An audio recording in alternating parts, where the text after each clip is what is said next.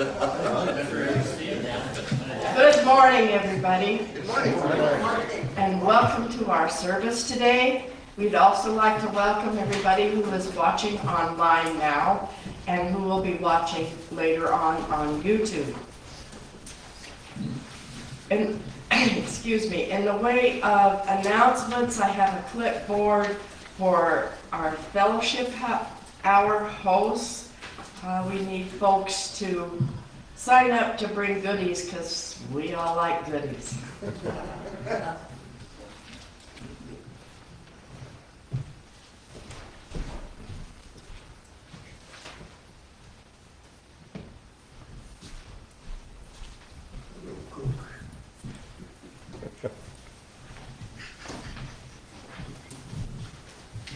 That went by fast, didn't it? I see how that worked. Started on this side. Yes. Better luck over there. Our introit is Guide My Feet, and it is found on page 2208 in our, No, no, what? I think we have them wrong. Mine has seven fourteen. I know whom I have believed. Okay. That's what I got too. so- What do you have? That's what I have. I know whom I believe. Okay, so. Sorry. Oh, don't scare me, I don't know. I try hard. I try hard to scare everybody. It's my job. Okay, back to square one. Our introit is I know whom I have believed. It's on page 714 in your hymnal.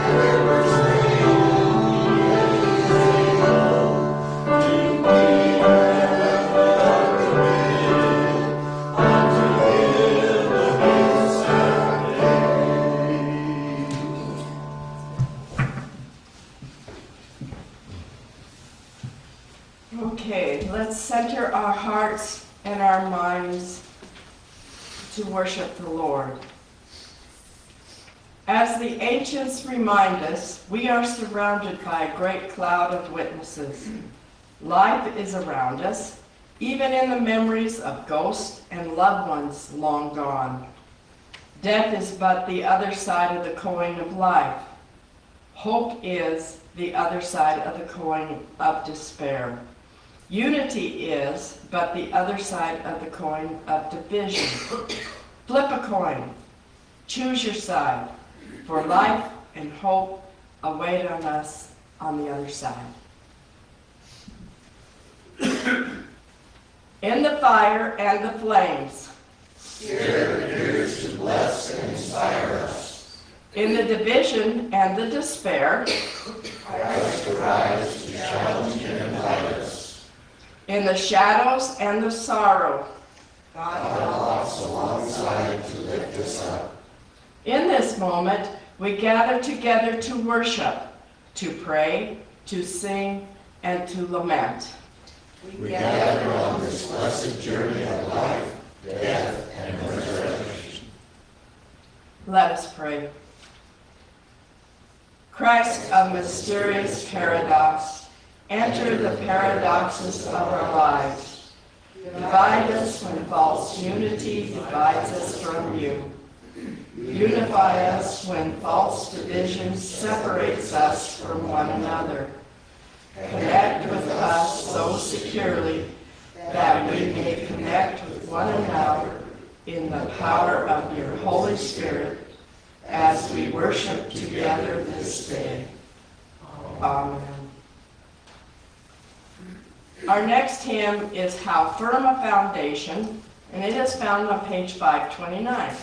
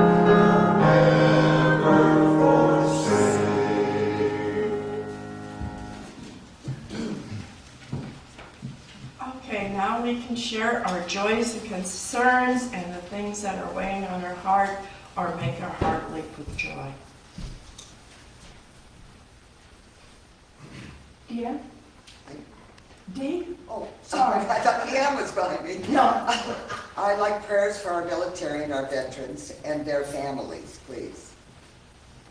For our military, our veterans, and their families. Gladys? Prayers for the Guardian Schwinn family. Prayers for the Darlene Schwen family. Um, she passed away Friday night. Right? I'll uh, share some joys with the rock saga as we go into life. I uh, got to uh, be at a gender identity party last Friday night Oh. for my youngest daughter and her husband Tanner. And didn't know anything about her, how it works and everything, but I guess what happened is that when she had her last ultrasound, the technician noticed if it was boy or girl, or figured she did, the technician did. And then they put it, uh, have a card, a blue or a pink card, and congratulations, it's a boy or a girl. They seal it up in the, in the envelope. And Mackenzie and Tanner didn't even know, even Grandma didn't know, Grandpa, of course, doesn't know. And, uh, so, uh, we had the party and, and friends and family all showed up. And then how they did it at that party is they, uh, uh, Mackenzie and Tanner have two big chocolate Labradors. In fact, it was at Mackenzie and Tanner's wedding, that two Labradors, they have so well trained, they laid right at Mackenzie's feet during the whole ceremony of the wedding, so pretty good dogs. And so Grandma, Tanner's mom, took the two dogs back into the garage, and then they, she opened the envelope and seen if it was blue or pink, and then she put, uh, helium balloons tied into the collars of the dogs, the appropriate color. And we were all standing out in the patio in the back, and she opens the door and lets those dogs out. And they run around the side of the house, coming running over there, and you could tell we were big blue. Oh, great, great. And I looked at Tanner and he had tears coming down. Oh, sweet. So the Rock Clan now is gonna have five, I am gonna have five grandsons, and still only that first one, granddaughter. But Malia's trying to twist her husband's arm because they have two boys and she wants a girl so bad. So stay tuned, there's more to be. Congratulations. Thank you. This is our last Sunday here. Oh, Uh. We'll be returning to Georgia, leaving tomorrow morning. But I wanted to thank everyone for all that, the the friendship and the fellowship that we've always enjoyed at this church. I call it my mother church because I was raised in this church. But we will be returning to St. Mark United Methodist Church in Columbus, Georgia. And uh, uh, we ask for your uh, mercy uh, for safe travels, and uh, we will hope to see you perhaps next summer. Sounds wonderful. Safe travels for all. Sherry? Um, prayers of joy for the brief rain that we got, um, last evening. Um, it helped put out, if not subside, the wildfire in Bridger, Nice. near Bridger. The one that's in the Pryors. Okay. Cora? First, those people that know Bill Golvis, We'd probably keep him and his family in their prayers. For those that don't know, he was uh, run over by a tractor and a bale wagon. Uh, And it kind of tore him up a little bit.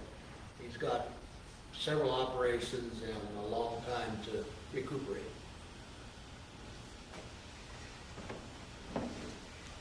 Anybody else? Would also like prayers for Berna.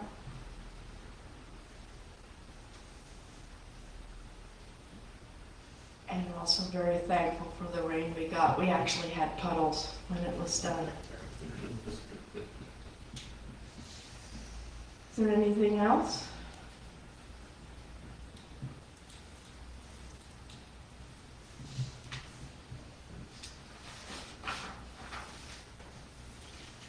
Let us pray. The peace of Christ is not an easy peace. This is not just embracing those we love. This is a peace facing hard truths, forgiving huge sins, and uniting with all. May we extend the peace of Christ to all, the peace Christ has extended to us. And may we always pray the way he taught us to pray.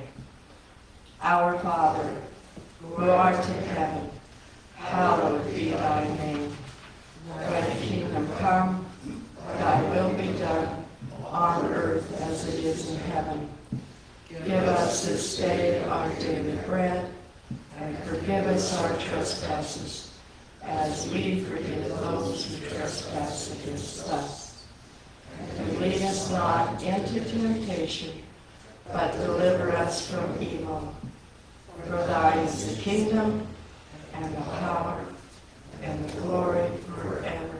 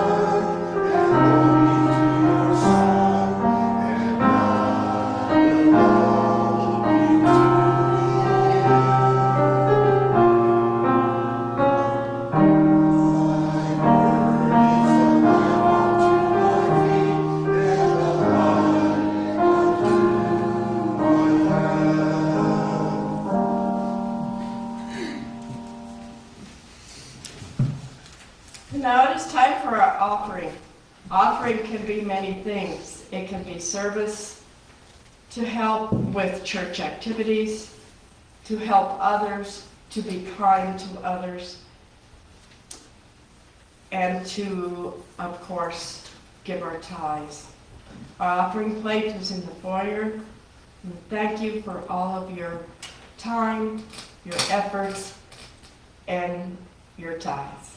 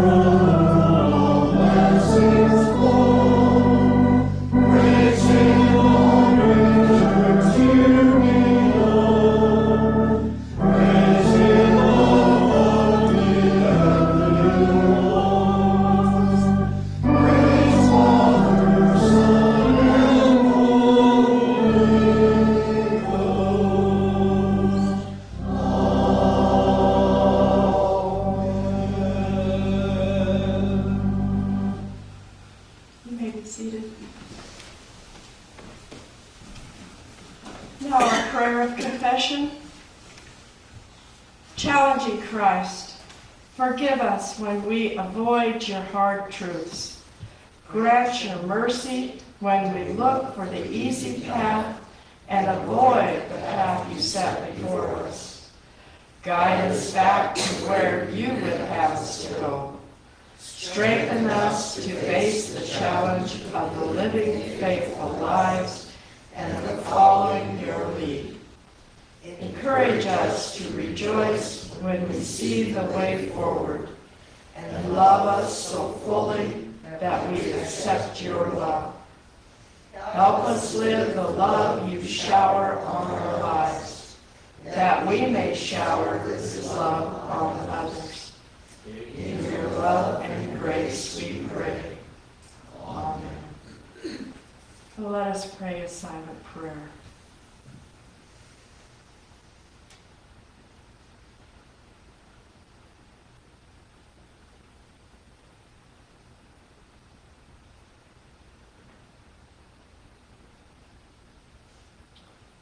God's face looks upon us with mercy and love.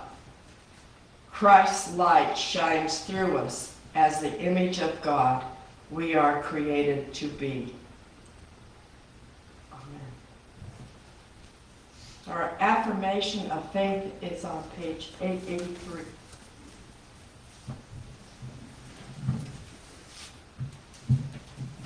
We are not alone. We live in God's world. We believe in God, who has created and is creating, who has come in Jesus, the Word made flesh, to reconcile and make new, who works in us and others by the Spirit. We trust in God. We are called to be the church, to celebrate God's presence to love and serve others, to seek justice and resist evil, to proclaim Jesus crucified and risen, our judge and our hope. In life, in death, in life beyond death, God is with us. We are not alone. Thanks be to God.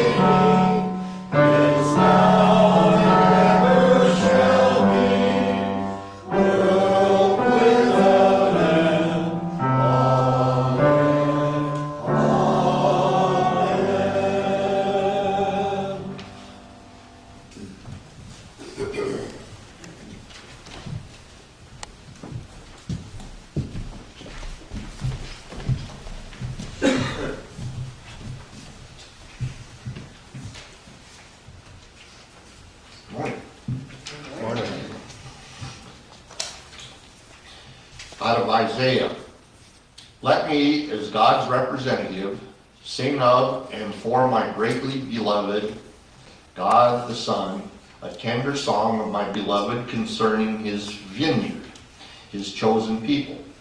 My greatly beloved had a vineyard on a very fruitful hill. And he dug and trenched the ground and gathered out the stones from it and planted it with the choicest vine and built a tower in the midst of it and hewed out a winepress in it. And he looked for it to bring forth grapes, and it brought forth wild grapes. And now, O inhabitants of Jerusalem and men of Judah, judge, I pray you, between me and my vineyard, my people, says the Lord. What more could have been done for my vineyard that I have not done in it? When I looked for it to bring forth grapes, why did it yield wild grapes? And now I will tell you what I will do to my vineyard. I will take away its hedge, and it shall be eaten and burned up. And I will break down its wall, and it shall be trodden down by enemies. And I will lay it waste, it shall not be pruned or cultivated, but there shall come up briars and thorns. I will also command the clouds that they rain no rain upon it. For the vineyard of the Lord of hosts is the house of Israel, and the men of Judah his pleasant planting, the plant of his delight. And he looked for justice, but behold, he saw oppression and bloodshed. He looked for righteousness, for uprightness, and right standing with God, but behold, he heard a cry of oppression and distress. In our Psalm 80, I give ear, O shepherd of Israel, you who led Joseph like a flock, you who sit enthroned upon the cherubim of the ark of the covenant, shine forth. Before Ephraim and Benjamin and Manasseh, stir up your might and come to save us.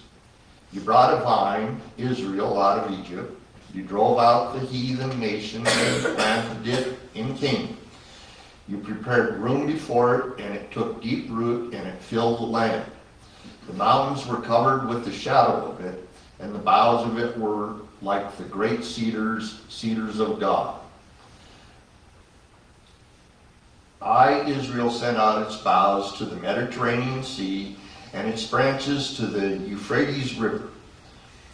I, King 421, 12, why have you broken down its hedges and walls so that all who pass by pluck from its fruit? The boar out of the wood wastes it, and the wild beast of the field feeds on it. Turn again, we beseech you, O God of hosts. Look down from heaven and see. Visit and have regard for this vine. Protect and maintain, maintain the stock which your right hand planted, and the branch, the son that you have reared and made strong for yourself. They have burned it with fire, it is cut down, may they perish at the rebuke of your countenance. Let your hand be upon the man of your right hand, upon the Son of Man, whom you have made strong for yourself. Then we will not depart from you. Revive us, give us life, and we will call upon your name.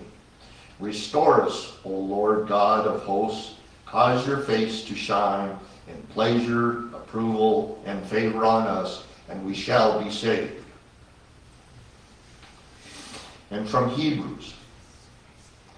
By faith, the people of Israel crossed the Red Sea as though they were passing through dry land. But when the Egyptians attempted it, they were drowned. By faith, the walls of Jericho fell down after they had encircled for seven days, had been encircled for seven days by Joshua and the sons of Israel. By faith, Rahab the prostitute was not destroyed along with those who were disobedient because she had welcomed the spies sent by the sons of Israel in peace. And what more shall I say? For time will fail me if I tell of Gideon, Barak, Samson, Jephthah, of David and Samuel, and the prophets, who by the faith that is, with an enduring trust in God and his promises, subdued kingdoms, administered justice, obtained promised blessings, closed the mouths of lions, extinguished the power of raging fire, escaped the edge of the sword, out of the weakness were made strong, became mighty and unbeatable in battle, putting enemy forces to fight. Re- women received back their dead by resurrection, and others were tortured to death, refusing to accept release offered on the condition of denying their faith, so that they would be resurrected to a better life. And others experienced the trial of mocking and scourging amid torture, and even chains and imprisonment. They were stoned to death. They were sawn in two. They were lured with tempting offers to renounce their faith. They were put to death by the sword. They went about wrapped in skins of sheep and goats, utterly destitute, oppressed, cruelly treated, people of whom the world was not worthy, wandering in deserts and mountains and living in caves and holes in the ground. And all of these, though they gained divine approval through their faith, did not receive the fulfillment of what was promised, because God had us in mind and had something better for us, so that they, these men and women of authentic faith, would not be made perfect, that is, completed in Him, apart from us. Therefore then, since we are surrounded by so great a cloud of witnesses who have borne testimony to the truth, let us strip off and throw aside every encumbrance, unnecessary weight, and that sin which so readily, deftly and cleverly clings to and entangles us, and lets us run with patient endurance and steady and active persistence the appointed course of the race that is set before us. Looking away from all that will distract to Jesus, who is the leader and the source of our faith, giving the first incentive for our belief and is also finisher, bringing it to maturity and perfection. He, for the joy of obtaining the prize that is set before us.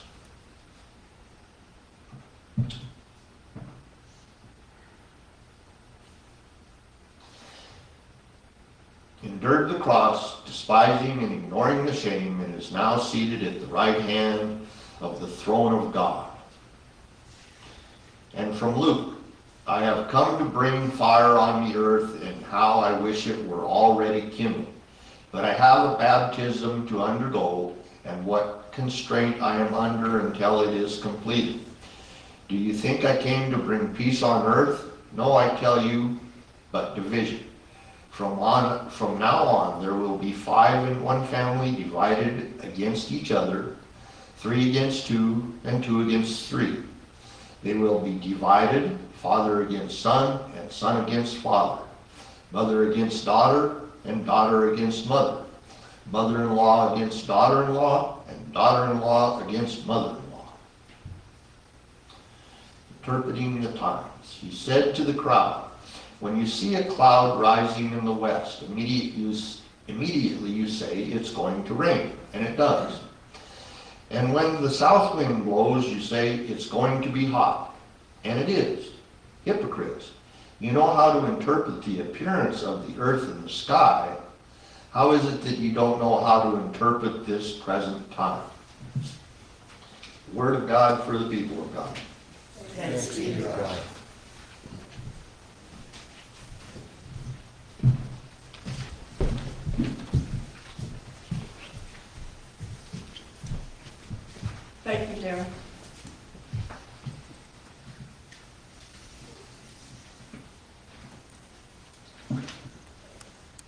I found a list of Jesus is.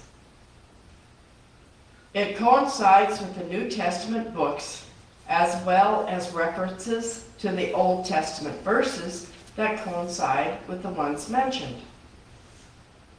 Jesus is what to me? Do I feel Jesus in everyday life or just on Sundays? Does he impact my thoughts and actions every day? How I treat others? I hope I don't lose you on this rabbit trail of mine. I hope it speaks to you as it spoke to me. We start with Matthew. Matthew tells the good news of Jesus Christ. Like the other Gospels, the focus is on what Jesus did and said during the last three years of his life. The primary focus of all four Gospels is Jesus' sacrificial death and his powerful resurrection. In places of each Gospel, the writers focus on the last week of his life. Each is told differently. They speak of a different aspect of Jesus is. Matthew teaches us that Jesus is the Messiah, as foretold repeatedly in the Old Testament. One of the most obvious of these is found in Isaiah 7:14. Therefore the Lord himself will give you a sign. Listen carefully. The virgin will conceive and give birth to a son, and she will call his name Emmanuel. God is with us.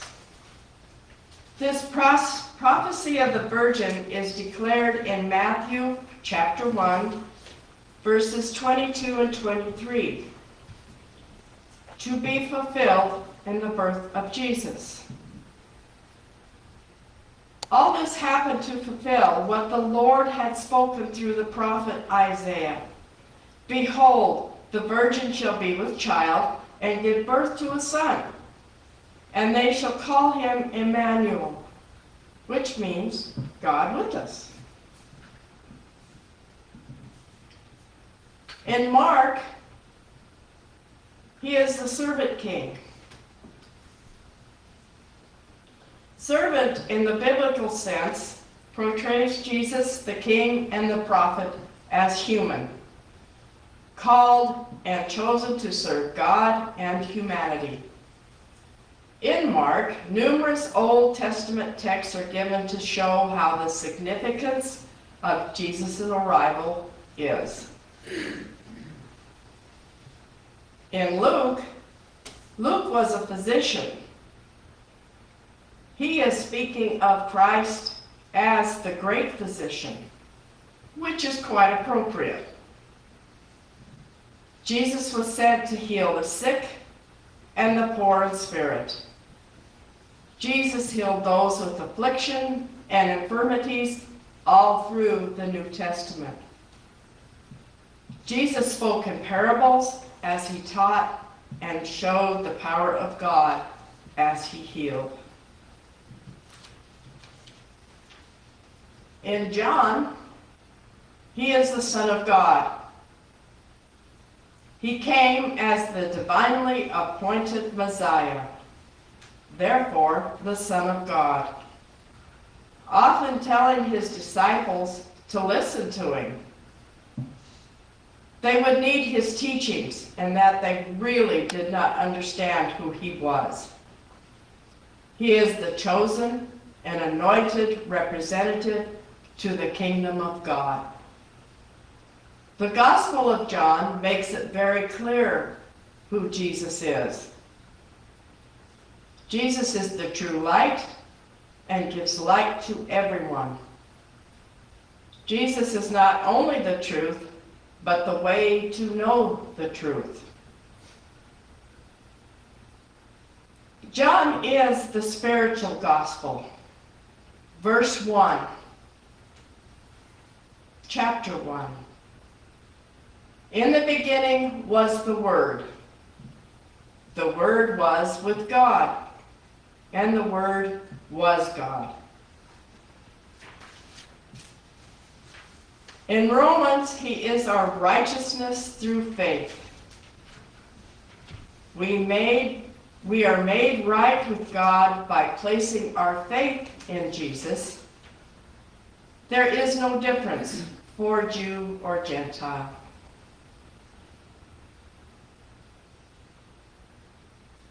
In Acts, he is our risen Lord. Just as Jesus said he would, he rose again. When Martha and Mary went to the tomb, it was empty. And as to his divine nature, according to the Spirit of holiness, was openly designated to the Son of God with power and in a triumphant, triumphant and miraculous way by his resurrection from the dead. Jesus Christ, our Lord.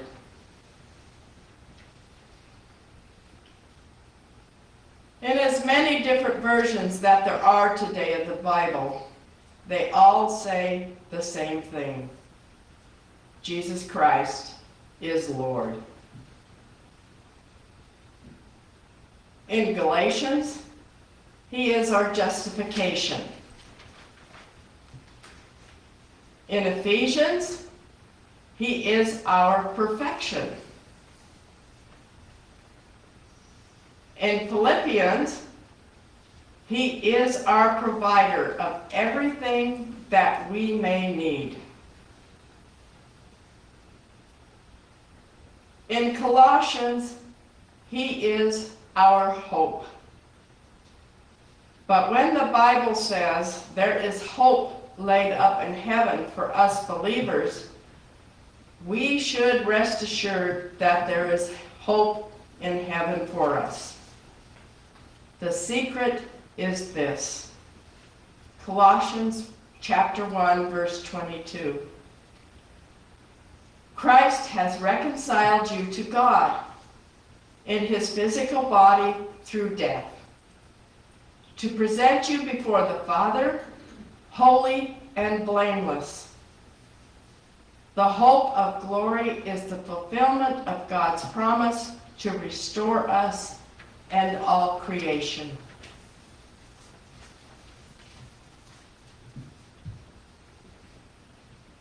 In Timothy, he is our shepherd. In the 23rd Psalm, we can picture Jesus leading us beside the still waters. The pictures of Jesus with the lamb across his shoulders, with all the angels rejoicing when just one is brought back into the fold.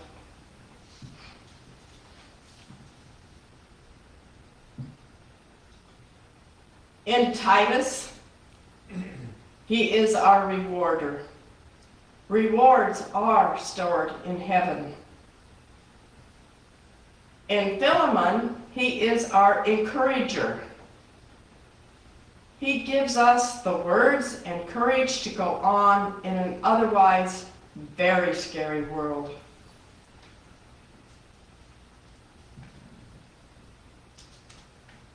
In Hebrews, he is our high priest. He is greater than anyone.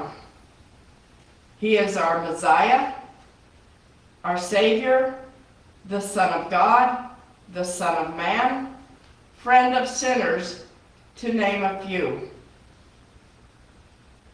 He is called our high priest because he paid for our sins.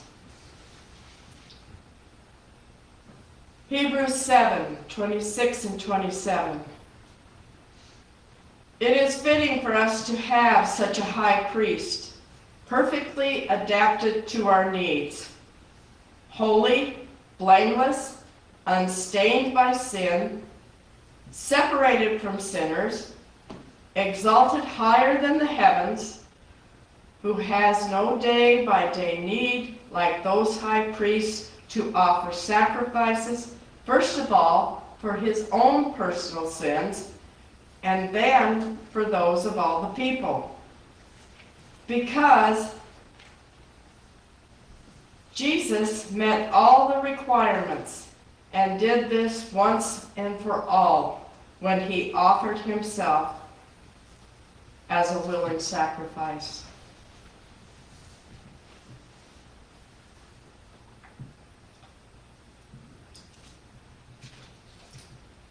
He offers redemption of sins by obtaining eternal life for all who come to God through Christ. He is the door. In James, he is our wisdom. James 1 5 and 6. Ask for wisdom, but ask in faith. In Peter, chapter 1, verse 4, we have a priceless inheritance that is kept in heaven.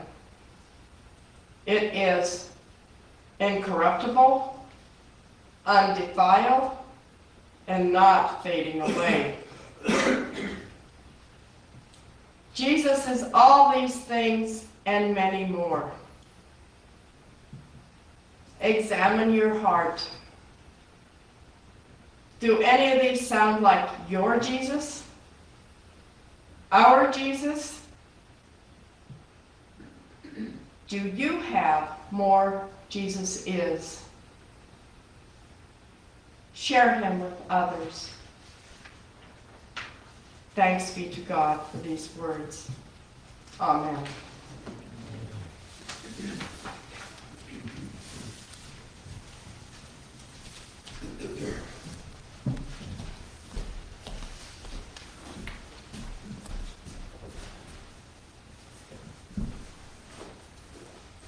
Our closing hymn is found on page 600, Wonderful Words of Life.